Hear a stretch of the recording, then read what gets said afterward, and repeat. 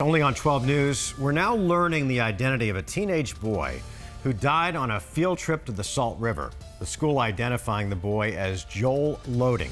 Tonight, the director of the academy tells 12 News the 14 year old didn't have a life jacket on at the time.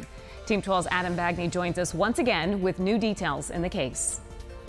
The family of 19 year old Joel Loding remains in mourning tonight after the ninth grader drowned Wednesday on the Salt River. His school identifying him this evening, saying the teen died during a tubing field trip. Joel's family is an exceptionally fine family. He's he's an exceptional person. Director Ken Bursey says for some reason the teen got off his tube as he was floating down the river. He says the boy could swim, but believes he panicked. I said, do not get out of your tube.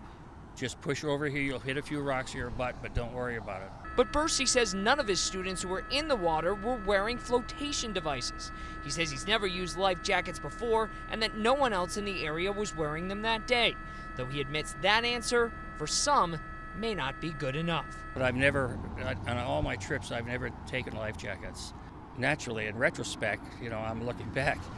But I've never had any instances or situations where you know, it has been an easy trip. Meantime, the tiny Arizona International Academy, with just 11 students, remains in a state of grief. A school funded by donations and made up mostly of refugees, rocked by tragedy.